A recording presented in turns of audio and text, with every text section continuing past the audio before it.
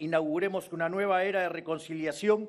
Las recientes expresiones del presidente argentino Javier Milei contra su homólogo colombiano Gustavo Petro generaron tensiones diplomáticas que ya fueron superadas.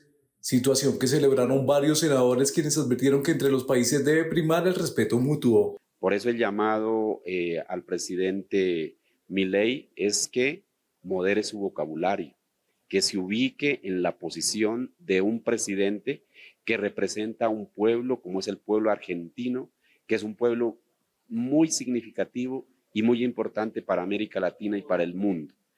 La amistad entre los pueblos debería ser un principio que algunos gobernantes, por las razones que sean, quieran vituperar a conveniencia, a veces porque tienen problemas internos, etcétera, a otros mandatarios, no es un buen consejo para la unidad latinoamericana. La Constitución Política Nacional Colombiana habla de la unidad de los pueblos latinoamericanos y tratar de reconciliarnos con el pueblo y las gentes de Argentina me parece un hecho positivo. Senadores de la oposición, entre tanto, manifestaron que ambos mandatarios deben moderar el lenguaje para evitar nuevas confrontaciones a futuro. Ambos se han equivocado en el lenguaje. La diplomacia tiene un principio básico y es tener un lenguaje correcto.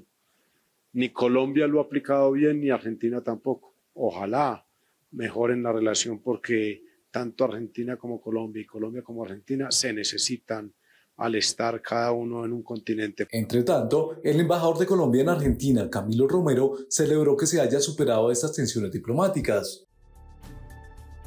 Me alegra que hoy podamos dar una buena noticia conjunta a los pueblos de Colombia y Argentina. Siempre dijimos que la hermandad de más de 200 años y el futuro de nuestros pueblos están por encima de cualquier impasse. Los senadores reiteraron que se debe seguir trabajando por la unidad de los pueblos.